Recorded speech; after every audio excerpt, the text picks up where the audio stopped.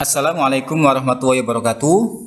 Alhamdulillahirrahmanirrahim anak-anak bertemu kembali dengan Pak Mutakin pada mata pelajaran pendidikan agama Islam dan budi pekerti untuk anak-anak kelas 7.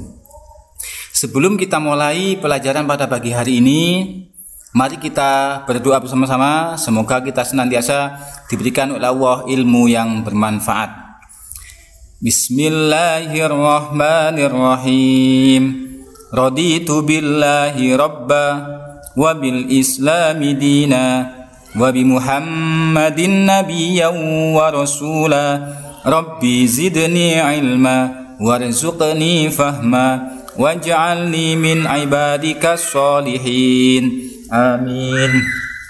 Oke, terima kasih anak-anakku kelas 7 diusahakan sebelum kalian memulai pelajaran baik di rumah maupun yang datang ke sekolah kalian harus dibiasakan untuk berdoa bersama-sama ya. Kalau yang kelas 8 dan kelas 9 anak-anak eh, sebelumnya sudah berdoa sesuai dengan yang sudah kita lakukan di SMP Dalil Quran. Kalian yang kelas 7 kan belum pernah. Jadi setiap pelajaran mulai akan kita lakukan dengan berdoa. Kita awali dengan berdoa. Oke, langsung saja. Akan kita bahas pada pembelajaran pagi ini. Namun sebelumnya ada beberapa pembahasan soal pada pertemuan kita dua minggu yang kemarin.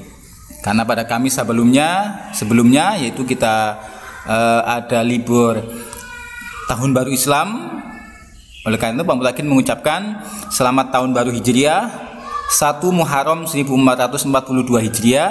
Semoga kita semua senantiasa dalam lindungan Allah SWT. Mudah-mudahan di tahun sekarang, tahun yang akan datang, tahun 1442 Hijriah menjadi tahun yang lebih baik daripada tahun kemarin dan kita senantiasa bertambah ketaatan dan ketakwaan kita kepada Allah taala. Amin ya rabbal alamin. Yang pertama adalah jelaskan pengertian iman baik secara bahasa maupun istilah. Sebagaimana kita ketahui bahwa iman secara bahasa berarti adalah yakin dan percaya. Sedangkan pengertian iman menurut istilah adalah diucapkan dengan lisan, diyakini dalam hati dan diamalkan dalam perbuatan sehari-hari. Jadi itu adalah pengertian dari iman baik secara bahasa maupun istilah. Ini harus kalian ingat-ingat ya. Kemudian yang kedua jelaskan pengertian Asmaul Husna. Asmaul Husna sebagaimana kita ketahui adalah nama-nama Allah Subhanahu wa taala yang baik. Mau kalian lengkapi juga boleh. Asmaul Husna adalah nama-nama Allah Subhanahu wa taala yang baik yang berjumlah berapa? 99. Oke, bagus. Kemudian yang ketiga, apa arti dari Al-Alim? Al-Alim apa artinya? Maha mengetahui atau Allah sebagai maha sumbernya ilmu. Kemudian berilah contoh perilaku yang mencerminkan nama Allah Al-Alim.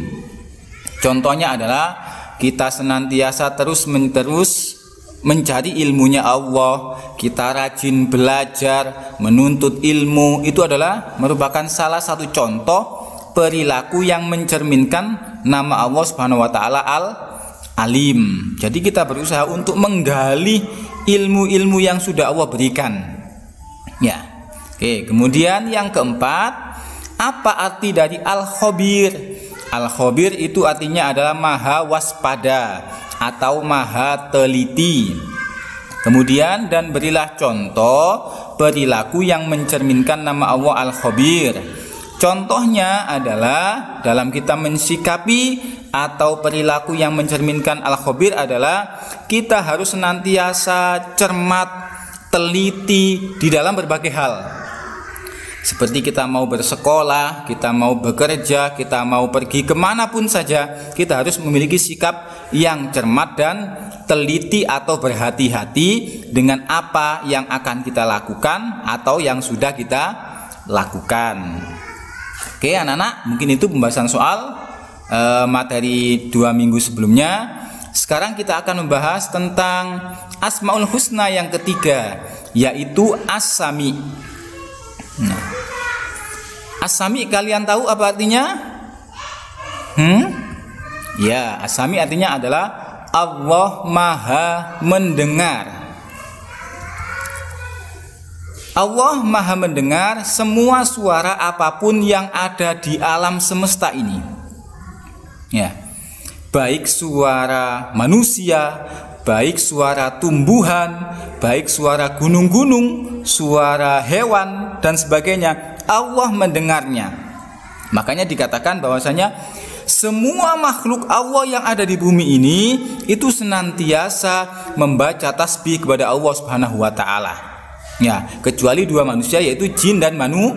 Kecuali dua makhluk jin dan manusia. Ya. Kalau katakanlah ayam, ya. Ayam itu senantiasa bertasbih kepada Allah.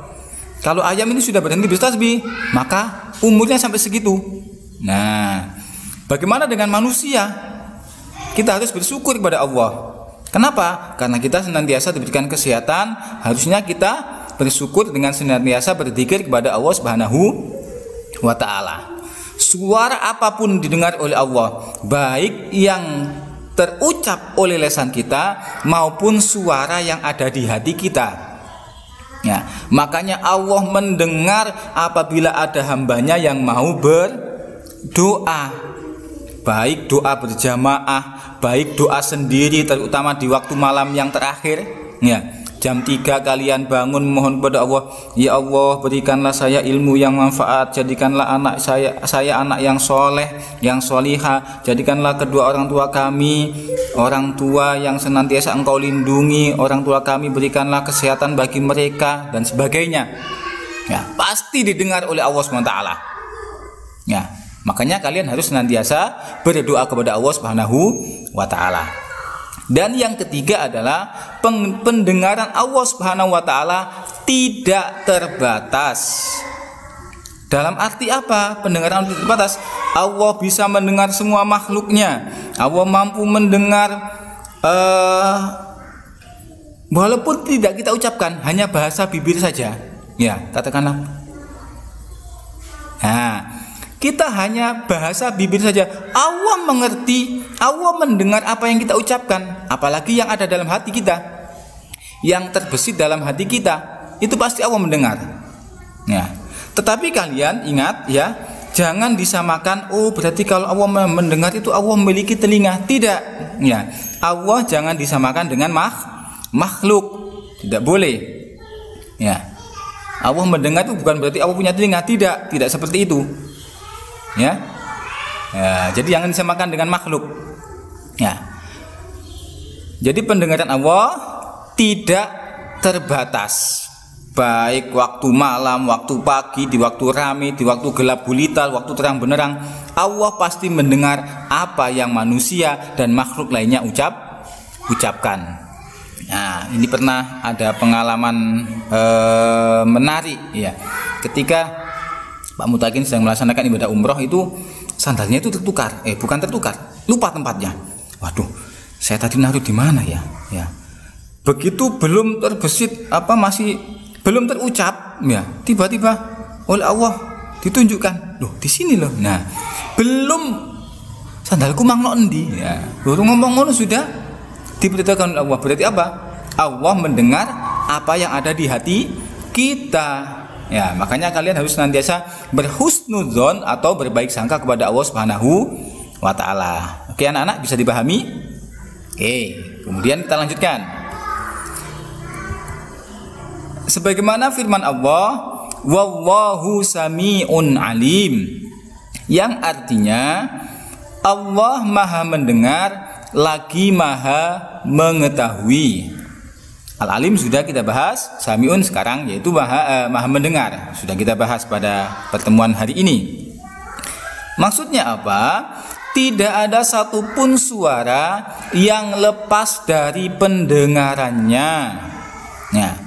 Jadi tadi semua makhluk katakanlah manusia yang ada di dunia ini kurang lebih jumlahnya hampir 6 miliar lebih Ya, itu semuanya berdoa kepada Allah.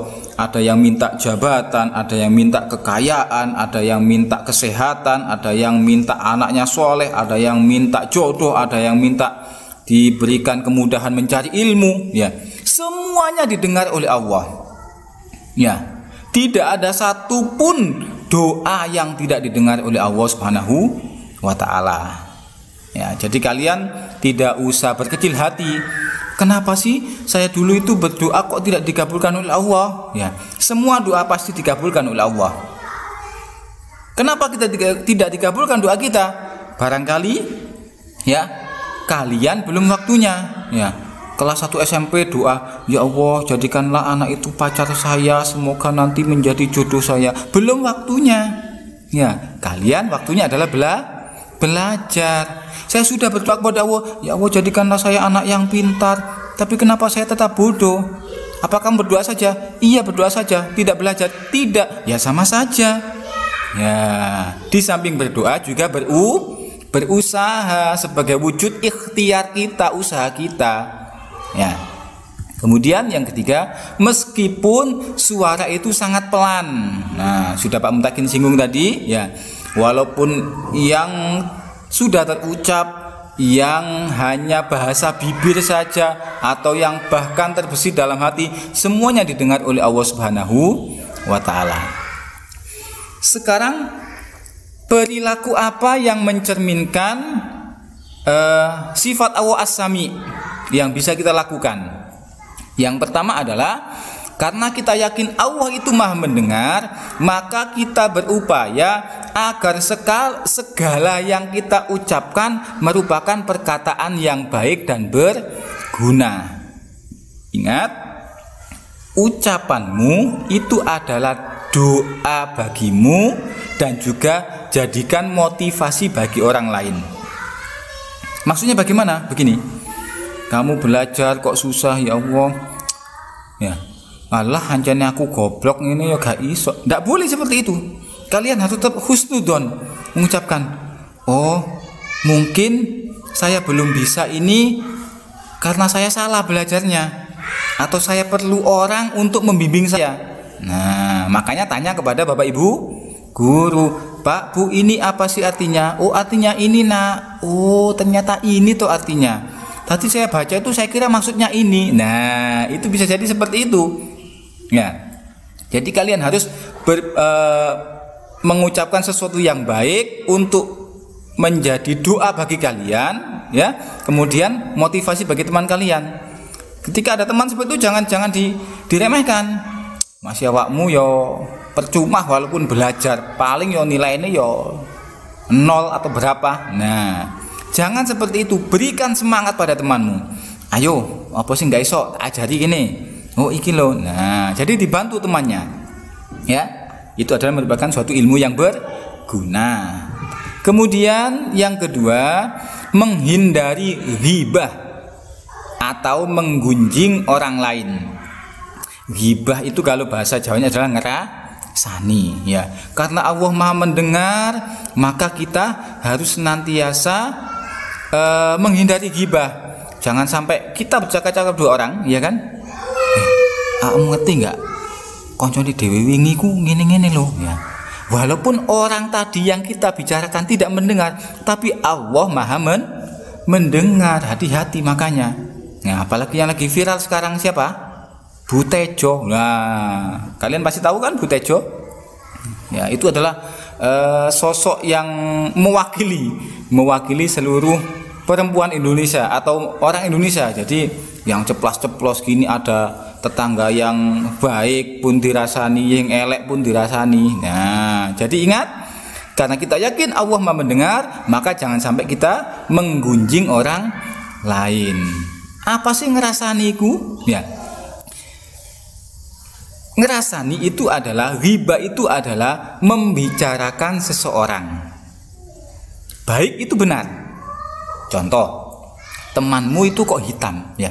Kamu bilang, kamu ngerti nggak aneh kok ireng ngono ya walaupun dia hitam ya itu benar kan nah itu namanya ngerasani riba tapi kalau bilang ya temenmu ngene-ngene tapi dia tidak melakukan. Nah, itu bukan ghibah namanya, tapi namanya fit fitnah. Nah, kalau fitnah malah dosanya lebih lebih besar lagi. Ya. Kemudian yang ketiga adalah peka terhadap informasi dengan pandai memilih dan memilah yang baik dan yang buruk. Salah satu wujud dari perilaku yang mencerminkan sifat Allah asami adalah seperti yang ada saat ini, kita punya HP, banyak teknologi yang baik di sana. Ya, kita harus pilih-pilih.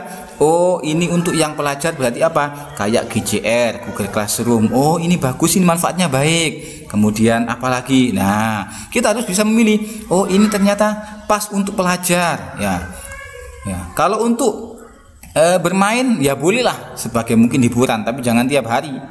Ya. Oh, mungkin ini gamenya eh, walaupun game tapi mengasah otak. Ya. Mengasah pengetahuan kita. Lah game-game yang seperti itu. Jangan game-game yang membuat kita lupa waktu lupa makan lupa sholat lupa istirahat lupa belajar dan sebagainya. Nah itu malah tidak boleh. Ya. Kalau game kayak TTS teka-teki silang ya itu kan e, me, apa namanya mengasah otak kita wawasan kita nah kalian harus pandai memilih dan memilah informasi yang baik dan yang buruk sebagai wujud apa? Perilaku yang mencerminkan sifat Allah asami. Oke, anak-anak sudah paham ya? Asami. Oke, kalau sudah paham, sekarang kita membahas yang keempat, yaitu al-basir. Apa artinya al-basir? Kalian tahu? Al-basir artinya Allah Maha melihat. Artinya Allah maha melihat segala sesuatu walaupun lembut dan kecil. Ya. Maksudnya apa? Jadi pandangan Allah itu melingkupi seluruh alam semesta. Makhluk apa pun pasti tidak luput dari pandangan Allah Subhanahu wa taala, baik yang besar maupun yang kecil. Ya. Melihat apa saja yang ada di langit maupun di bumi dan seluruh alam semesta. Ya. Kalau pandangan kita ini kan terbatas. Kita paling bisa melihat itu katakanlah yang paling kecil mungkin kutu rambut atau semut ya atau tengu ya. Tapi kita tidak bisa melihat mikroba atau melihat bakteri ya. Allah Maha melihat kita bisa melihat yang sekarang viral yaitu virus COVID-19 itu sekian berapa apa ya ukuran kecilnya itu kalau kalau bahasa fisikanya itu ya ya. Itu berapa milimeter bawahnya lagi? Apa apa nanometer apa gimana ya? Kita tidak bisa melihat kecuali ada alat bantunya. Apa itu? Mungkin mikroskop atau mungkin apa saja ya yang membuat lebih besar. Ya tapi dalam pandangan Allah semuanya terlihat dengan jelas Ya, makhluk sekecil apa pun pasti tidak luput dari pandangan Allah Subhanahu wa taala. Sebagaimana firman Allah, "Innallaha ya'lamu ghaibas samawati wal ard, wallahu basirum bima ta'malun." Ayat surat Al-Hujurat ayat yang ke-18 yang artinya Sesungguhnya Allah maha mengetahui apa yang goib di langit dan di bumi dan Allah maha melihat apa yang kamu kerjakan. Jadi apa pun yang kamu lakukan pasti akan dilihat oleh Allah Subhanahu wa taala. Walaupun orang terdekat kamu, ayahmu, ibumu, adikmu, keluargamu tidak melihat. Kamu berbuat sesuatu di kamar pasti Allah akan melihat dan nanti akan dimintai pertanggungjawaban oleh Allah Subhanahu wa taala. Nanti di hari kiamat dilihatkan videonya. Oh, ini kamu dulu di kamar itu ternyata berbuat seperti ini. Ya, berbuat hal yang dilarang oleh Allah. Kamu menyembunyikan apa namanya miras, kamu membeli botol kemudian disimpan, kamu minum di sendirian di dalam kamar, tidak ada yang tahu. Nah, itu nanti ada ada CCTV-nya, CCTV dari malaikat rokib dan atid. Nah, itu nanti diperlihatkan kepadamu. Oh, anak ini ternyata dulu ketika ujian ya dia menyelipkan kertas kecil yang disimpan di pahanya disolasi kemudian dilihat. Nah pak gurunya tidak tahu. Anak ini kok nilainya bagus ya? Padahal kalau itu biasa-biasa saja. Nah bisa jadi. Seperti itu ya. Oleh karena itu mulai sekarang karena kalian yakin Allah Maha melihat, maka jangan sampai kita melakukan hal-hal yang dilarang oleh Allah Subhanahu wa taala. Dan yang kedua adalah berusaha maaf uh, apa tadi? Perilaku yang mencerminkan al-basir ya. Apa yang pertama? Berusaha semaksimal mungkin untuk dapat melihat peristiwa-peristiwa yang terjadi di alam ini sebagai renungan akan kebesaran Allah Subhanahu wa taala. Orang yang cerdas, orang yang berilmu pasti dia akan melihat sesuatu itu kemudian dikaitkan dengan keagungan Allah taala. Maksudnya bagaimana? Begini. Allah menciptakan gempa ya terjadi gempa bumi ketika gempa bumi katakanlah 8 skala Richter oh itu sudah sudah sudah besar sekali kemudian bangunan-bangunan roboh akhirnya apa kita membuat kesimpulan gini Masya Allah manusia sudah menciptakan peralatan yang canggih membuat bangunan yang kokoh tapi karena digoyang sedikit saja oleh Allah dengan gempa maka bangunan tersebut akan roh roboh. Oh, berarti apa? Oh, berarti apa yang diciptakan oleh manusia itu sifatnya adalah tidak abadi alias semen, sementara Allah yang maha kuasa ya. Oh, bangunan saya rumah ini sudah dicor dengan semen. Nah, tetapi kalau kena seperti itu, nah, kita ingat ingat akan kebesaran Allah Subhanahu wa taala. Kemudian yang kedua adalah introspeksi diri untuk uh, mohon maaf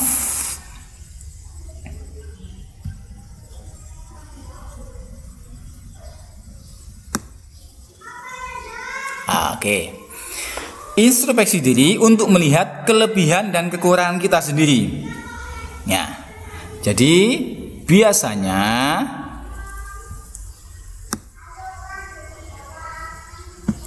Oke. Biasanya di tahun baru seperti ini mungkin menjelang tahun baru itu ada namanya renungan. Kita membaca doa akhir tahun agar apa? Semoga akhir tahun kita kemarin ditutup oleh Allah dengan akhir tahun yang baik dan semoga uh, di tahun depan kita doa kepada Allah kita dilindungi oleh Allah dijaga dari setan dijaga dari perbuatan maksiat agar kita memulai lembaran putih yang baru Nah, itu adalah mencerminkan perilaku yaitu sifat Allah as-sami atau uh, maaf al-basir yang Allah Maha melihat yaitu introspeksi diri atau muhasabah. Kita menghitung diri kita. Kalau bisa setiap hari kita hitung kapan? Sebelum tidur. Ya, sebelum tidur kalian ingat, ya Allah, saya tadi bangun tidur sholat subuh. Setelah sholat subuh saya berolahraga, kemudian saya sekolah, kemudian saya seperti ini. Loh, ya Allah tadi saya sholat asar kok lupa ya saya kecapean akhirnya belum sholat asar nah apa kemudian ya udah sholat saat itu juga iya saat itu juga apa namanya sholat kok kodok. Agar apa? Agar nanti ketika kita sudah meninggal tidak punya tanggungan. Ya. Kita tidak disiksa oleh Allah. Karena apa? Karena kita meninggalkan perintah Allah. Oke kemudian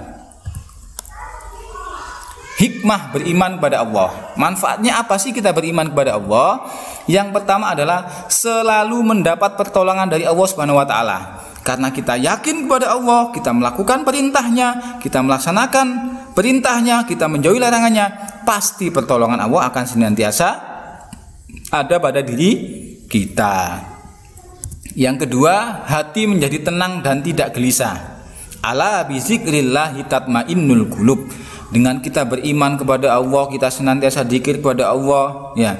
Kita beribadah. Akhirnya apa? Hati kita jadi tenang. Ya ada seseorang itu ketika galau ketika gelisah apa yang dia lampiaskan? Dia sholat. Atau enggak dia membaca Quran. Kenapa? Dengan membaca lantunan ayat-ayat suci Al-Quran hatinya menjadi tenang menjadi tenang. Ya. Kalau saya membaca Quran itu ya Allah seakan suasana itu menjadi dingin tentram. Nah, bukan malah apa namanya uh, mainan game bukan malah minum-minuman keras. Nah malah tidak tenang hatinya selesai ingat lagi dengan masalah yang dilak uh, apa masalah yang uh, yang dia yang dia permasalahkan. Ya kecuali harus dipecahkan masalah tersebut. Dengan cara apa? Meminta kepada Allah Subhanahu wa taala. Dan yang ketiga sepanjang masa hidupnya tidak akan pernah merasa ru rugi. Orang yang beriman tidak akan rugi. Sebagaimana firman Allah dalam surat Al-Asr innal insana lafi khusrin illal amanu wa amilus solihat Sesungguhnya manusia itu akan berada dalam kerugian kecuali dua orang, yaitu yang pertama yang beriman, yang kedua yang beramal soleh. Iman itu adalah keyakinan dalam hati, amal soleh adalah wujud dari iman tersebut. Ya, mengaku iman tapi tidak sholat, mengaku iman tapi tidak sodako. Nah, berarti imannya perlu dipertanyakan.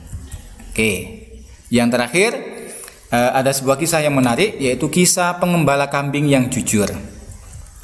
Langsung saja. Amir Mukmin atau pemimpin orang mukmin, sahabat Umar bin Khattab dikenal sebagai pemimpin yang kerap memperhatikan rakyatnya. Ia kerap melasuka, me, melakukan belusuan. Belusuan berarti eh, apa namanya? Ke tempat-tempat yang jauh yang eh, mungkin jarang jarang e, dari keramaian. Ia melihat langsung. Tiba-tiba dia bertemu dengan seorang pemuda yang mengembalakan kambing. Ya kemudian Amr bin bertanya ya, waduh sungguh banyak kambingmu. Gemuk-gemuk pula. Ya. maukah kamu menjualnya kepadaku? kata Umar bin Khattab. Ya. kemudian kata pemuda tersebut waduh ini bukan saya ini bukan punya saya mohon maaf ini adalah punya majikan saya. Kemudian Umar bin Khattab mengetes kejujurannya. Begini saja, kamu jual kepada saya satu atau dua ekor, kemudian nanti kamu bilang kepada majikanmu bahwasanya kambingmu dimakan serigala atau mungkin mati ditanduk hewan lain. Ya. Apa kata pemuda? Ya. Majikan saya si fulan, ya. Memang ketika saya mengatakan uh, saya jual kepada panjenengan kemudian saya katakan kambing saya dimakan serigala majikan saya percaya. Tetapi ya ada yang melihat perbuatan saya. Siapa? Allah Subhanahu wa taala. Walaupun majikan saya tidak mengetahui tidak ada orang yang lain yang tahu hanya kita berdua ya tapi Allah tetap mengetahui apa yang saya lakukan dan pasti nanti saya akan dimintai tanggung jawab oleh Allah Subhanahu wa taala. Akhirnya apa? Ya. Imam eh, maaf Umar bin Khattab mendengar jawaban tadi dia merasa gemetar seluruh tubuhnya. Ya, persendian tulangnya terasa lemah mendengar kalimat tauhid yang dinyatakan eh, oleh pemuda tersebut bahwa Allah yang melihat perbuatan kita. Ya. Akhirnya apa? Karena takjubnya sahabat Umar, akhirnya ia e, meminta kepada majikannya untuk membeli si e, pemuda tadi, karena pemuda pengembala tadi adalah termasuk seorang budak. Ya, akhirnya ia dibebaskan oleh Umar bin Khattab dengan harga yang sangat mahal. Ya, jadi e, sebuah kisah kejujuran itu pasti akan membuahkan hasil yang indah, akan membuahkan atau memberikan buah dari kejujuran tersebut pasti sesuatu yang baik. Ya, beda kamu kalau berbohong. Ya, orang yang jujur itu pasti hatinya tenang, dia tidak merasa gelisah. Kenapa? Karena dia sudah mengucapkan sesuatu yang jujur, melakukan tindakan yang jujur. Coba kalau kamu berbohong. Ya, dan berbohong itu pun tidak mungkin orang berbohong satu kali. Pasti dia akan menutupi kebohongan tersebut dengan kebohongan yang lain. Contoh ini, kamu hari ini pamit ke orang tuamu berangkat ke sekolah. Pak, Bu, saya pamit berangkat sekolah. Oh ya nak, hati-hati, ini tak kasih uang saku 5000 Tapi kan saya belum sarapan. Oh ya, tak kasih 10 ribu nanti sarapan di jalan atau di kantin sekolah. Ya kemudian kamu berangkat tapi kamu tidak sampai sekolah ya kemudian entah kamu diajak temanmu ngopi atau diajak ke mana ya kemudian pulang sekolah ya. Assalamualaikum Salam ya. gimana nak Aduh capek bu, hari ini pelajarannya banyak, banyak PR gini-gini. Oh, yes, nak istirahat wis, tak siapkan makanan, tak siapkan mandi ya. Oh nggih. Ya. Satu, kamu menutupi kebohongan bahwasanya kamu masuk sekolah. Yang kedua, kamu menutupi kebohongan lagi, berbohong lagi bahwasanya banyak tugas, kamu capek. Tiga. Kemudian Bagaimana tadi nak sekolahnya, Bapak Ibu Guru? Oh, alhamdulillah, Bapak Ibu Guru sehat-sehat semuanya. Semuanya. Ya, tadi ada Bu ini kirim salam ke jenengan. Katanya uh, saya nilainya bagus ya. Padahal tidak. Ya. Kenapa? Berusaha untuk menyenangkan hati orang tuanya dengan berbohong tadi. Ya, untuk menutupi kebohongan yang sebelumnya. Ya, makanya orang yang bertindak jujur pasti dia akan mengalami atau uh, hatinya menjadi ten tenang. Oke, terima kasih. Semoga bisa menjadi ilmu yang bermanfaat. Anak-anak yang mau bertanya silakan bertanya di uh, grup WhatsApp. Dari saya Pak Mutakin sekian. Saya akhiri. Wassalamualaikum warahmatullahi wabarakatuh.